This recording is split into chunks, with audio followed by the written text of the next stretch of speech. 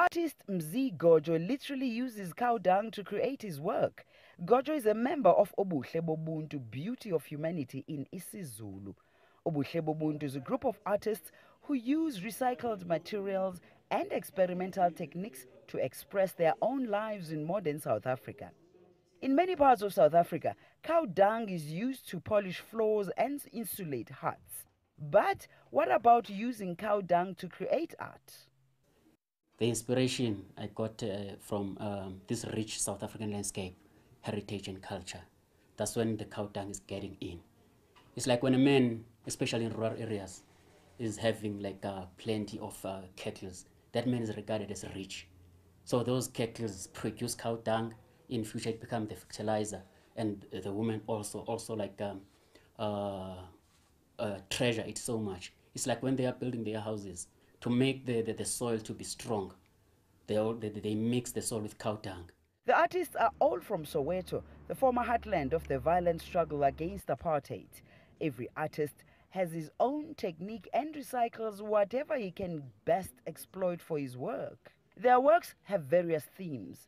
Litlogonolo Mkhasibe, who uses his garage as a studio, spent months developing a technique in which he stacks strips of old car tires together to create a canvas and then cuts into the material to create a black and white image. You find that in one strip of the tire, there is some certain journey that the car was taking. You know, some of the people they didn't reach their destination. Some they reached like us as artists. You know, this is the medium that uh, give me that platform to explore my concept and my themes.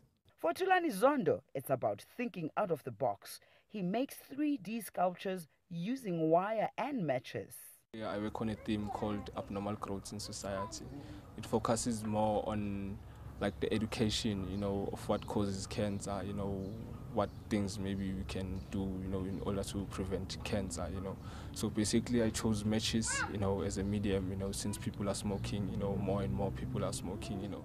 So I see it as a us our own behavior as an abnormal growth. The intriguing techniques have attracted increasing attention.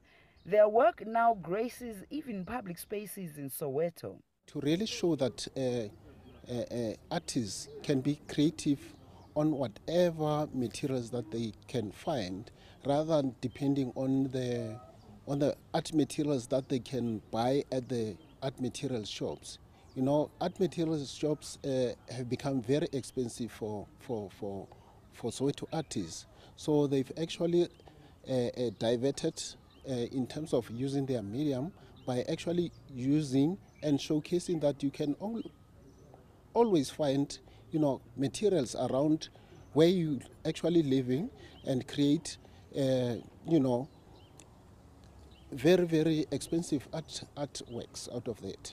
The artists hope to reach many with their unique form of art. Yuli Sandramela, CCTV in Soweto.